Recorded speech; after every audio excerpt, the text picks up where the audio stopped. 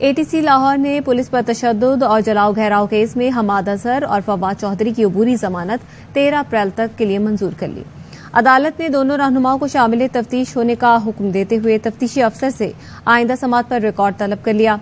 अदालत ने गुजशत रोज अदम पैरवी की बुनियाद पर अबूरी जमानतें खारिज की थीं।